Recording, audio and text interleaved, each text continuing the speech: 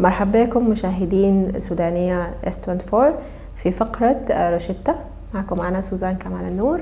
هتكلم لكم الليلة عن عن حاجة شيقة جدا وجديدة واللي هي الطب التجميلي.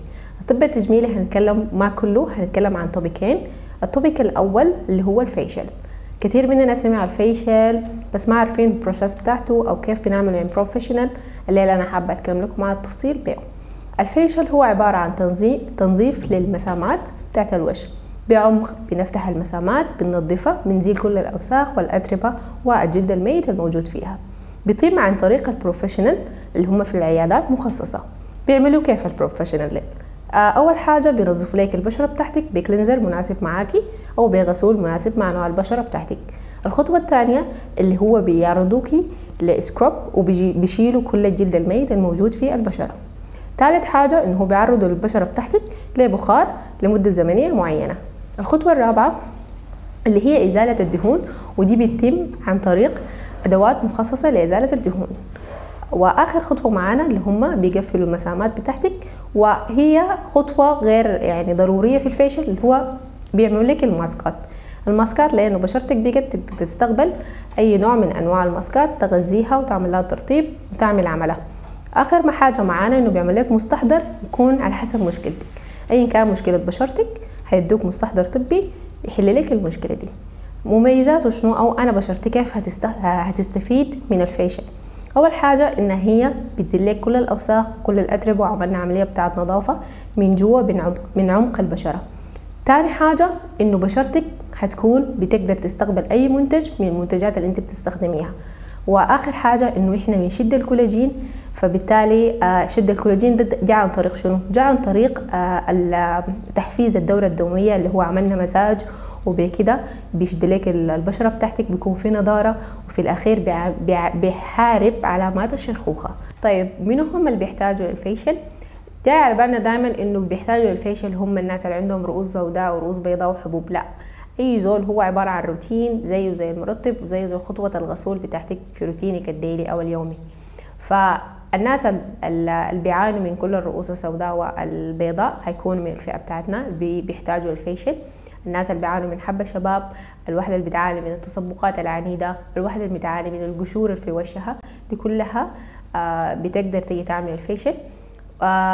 كمان الحاجة الحلوة في ال facial إنه هو لكل الفئات العمرية ما في فئة معينة هي خاصة بها.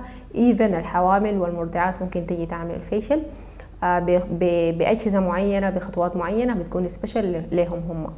آه طيب أنا لما أعمل ال facial في حاجات كثيرة أنا بقدر أعملها وهي روتين بعد ال facial الروتين بعد ال facial إنه أول حاجة آه ما بنستخدم أي أي صابون أو أي غسول لمدة 24 ساعة وما بنوضع أي مكياج ولا أي آه مستحضر آه خاص بالمكياج لمدة 24 ساعة برضو. وتاني حاجة إنه الوسادة بتاعتنا أو كيس المخدة بتاعنا هنغيره لأنه ممكن يكون عرضة لفيك وفيه كل الجراثيم أو كل الوساخ اللي قاعدة وإحنا بشرتنا ما عايزينها تتضرر به. رابع حاجة معانا اللي هي لازم تستخدمي الواقي الشمسي وضرورة تغييره لمدة ساعتين كله كل ساعتين. ضروري جدا إنك تغيري الواقي الشمسي بتاعك وما تتعرض لأشعة الشمس. ممكن تعملي في الويكندز أو لو انت لازم تطلعي لازم تعملي الواقي الشمسي بتاعك. وحاجة تانية إنه لازم نرطب البشرة أكتر من ثلاثة مرات في اليوم بعد الفيشل. وبكده بكون ده الروتين ما بعد الفيشل وإن شاء الله هتديك النتائج اللي أنت حبيت هتحبيها وبشرتك هتستفيد منه استفادة قصوى. طيب آه شنو الحاجات اللي بتخلي الفيشل يعني منو الفئات اللي ما بنقدر نعمل لها الفيشل؟ اللي هما الناس اللي بيستخدموا آه مقشرات كانت فبشرتهم مليانة قشور شديدة أو فيها جروح دي ما بنقدر نعمل لهم فيشل. الناس اللي عندهم حبوب حب شباب لكن حب شباب يعطوا الدرجة الثانية أو الدرجة الثالثة من أنواع الحبوب اللي هم الملتهبة اللي بتكون فيها آه يعني بص وبتكون فيها مدة. فدي حاجات ما بنقدر نعمل لها ال facial. بنعالج المشكلة أول بعد ذاك نعمل ال facial. طيب والحاجة الأخيرة معنا إنه أنا لو ما قادر أمشي لل professional يعمل لي ال facial ممكن نعمل facial منزلي في البيت بطرق بسيطة جدا. أول حاجة تغسلي وشك بغسول مناسب معك أو غسولك المعتاد. تاني حاجة إنك تستخدمي scrub يكون مناسب معك برضو على حسب بشرتك. ونعمل آه زي وعاء كده يكون فيه موية ونحطه في نعرضه للحرارة لمدة لحد ما نشوفه غلا وبقى يطلع البخار ونجي بفوطة وننزل عليه لمدة عشر دقائق بعد ذاك نمشي ونجيب السنارة. دي ممكن تجيبها من أي معدات بتاعت آه، أي محل بيبيع المستحضرات الطبية. بتلقى عنده السنارة خاصة بإزالة الدهون. ممكن تطلع كل الرؤوس أو كل الدهون الموجودة في وشك. وخطوة مهمة شديد عشان نقفل المسامات لأنه إحنا فتحناها بالبخار. تجيبي لوح بتاع تلج صغير وتمرريه على كل وشك أو تغسلي بموية باردة.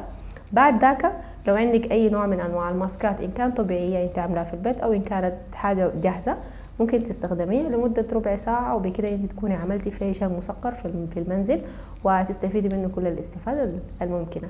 ودي فقرتنا معاكم اتكلمنا عن الفيشل أتمنى إنكم استفدتوا. لحد ما نتلاقى مع السلامة.